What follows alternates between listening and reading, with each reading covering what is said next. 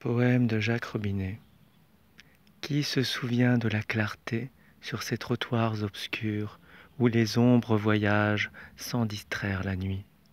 Il avance pourtant, guetteur somnambule, avec pour seul viatique la promesse annoncée et le fardeau des années mortes offerte à la lumière.